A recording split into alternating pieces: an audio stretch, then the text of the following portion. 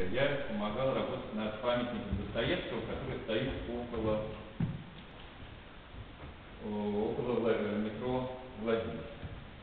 Здесь работы э, самые такие, самые первые, самые известными, которыми стали Холин и Игнатьев, это две скульптурные группы около театра юного зрителя Тюза. Холин скульптор сделал э, группу девочек, а скульптор Игнатьев сделал группу э, мальчиков. Также у них есть э, несколько осуществленных проектов э, в Петербурге, это мемориальные доски у Игнатьева, которые вы там можете в тексте прочитать.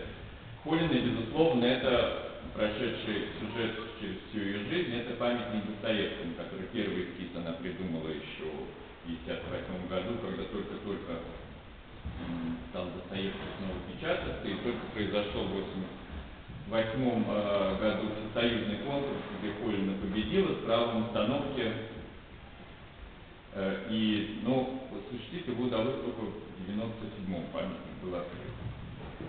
И здесь, возможно, какие-то такие, обратить ваше внимание, все-таки, наверное, какие-то фотографии, которые вам, наверное, дадут представление. Например, это вот э, Игнатьев и Колина, когда мой отец Петр э, живописец еще заканчивает только Академию художеств. Это фотография на одна из персональных выставок Игнатьева в Русском музее, и здесь вот виден сам скульптор Игнатьев, это живописец Моисеенко, это еще будущий только директор Русского музея Гусев, это э, мастер искусствовед. Из таких, может быть, важных для жизни, вот это вот так, вот это мастерская Колиной, где-то там 84 -го года. А это, возможно, одна из таких важных для скульптора Игнатия фотографий о том, что говорящая о том, как люди, в общем-то, меняются и меняются совершенно в разном возрасте.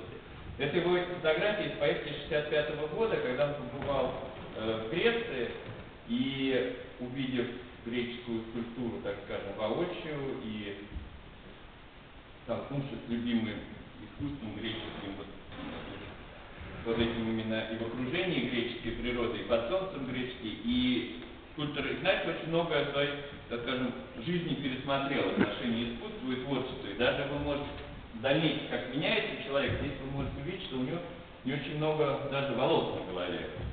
А вот это, а это вот человек изменившийся, это уже 70-е годы. Вот так вот может человек как-то отнестись и даже перестроить каким-то образом свою жизнь. Вот. И здесь, э, вот, здесь, э, вот это тоже интересная фотография, это скульптор Игнатий в армии в 1934 году. Он закончил, э, он там родом из Николаева, отец его был кораблестроителем на Николаевских больших верфях, и ну, он, э, отец его погиб э, во время гражданской войны, а мать уже в 50-е годы, и у деда осталось э, еще две сестры, которые тоже было помогать. Он закончил художественные, э, художественное училище в Николаеве. Но в отличие от других его соучеников, которые дальше продолжили свое художественное образование в Одесском училище, он, он э, был призван в армию. Но в тот момент э, в армии был объявлен э, конкурс и была организована так называемая э, выставка искусств армейского, ну, скажем так, я не могу точно вам сказать название, но выставка как бы искусства Красной Армии. И детка этой выставки создает вот этот вот бюст Радица вентральной величины. И он выставляет этот бюст прямо из армейской части. И на выставке эту скульптуру видит скульптор Шервот, такой известный и, и русский, и советский скульптор. И говорит, а вот этого молодого человека я забираю себе в художественный институт, прямо из армии.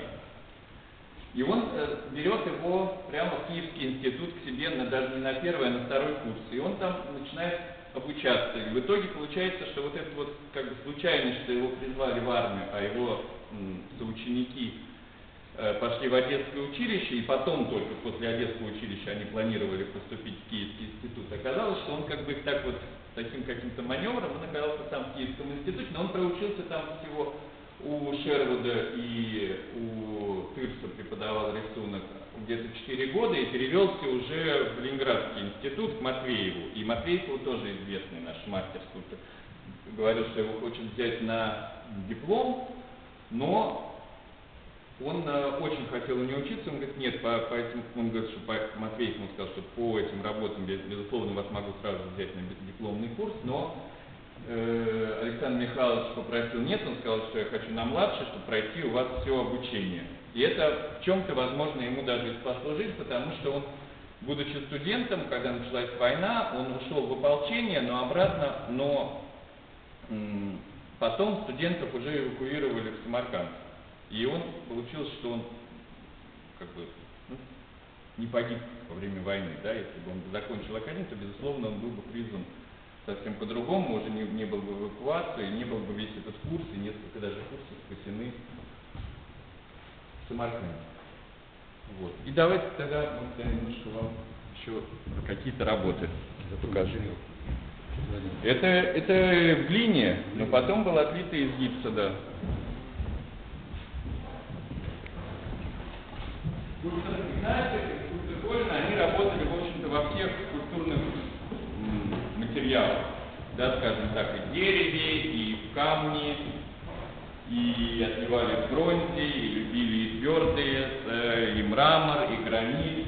И здесь мы видим, они совершенно постарались показать работы в разном материале, и они, что отличает от многих, возможно, скульпторов, что они э, доработ, дорабатывали в камне свои работы своими же руками, то есть они все эти работы, они как бы несут авторские свои, то что бывает разная э, практика работы в камне. Бывает, когда скульптор создает только модель в глине, потом она переводится в гипс, и уже с помощью каменщика, каменщики переводят в твердый материал, и, в общем-то, скульптор только немножко какие-то нюансы там доводит, да, какие-то там, которые ему смущают. Но вот эта вот непосредственная рубка, доводка авторская в камне, она не все скульпторы не прибегают, но вот, например, скульптор э, Холина и скульптор Игнатьев, все их камни, они не авторские, они доведены их руками, они э, предстают перед нами в том виде, в каком их задумал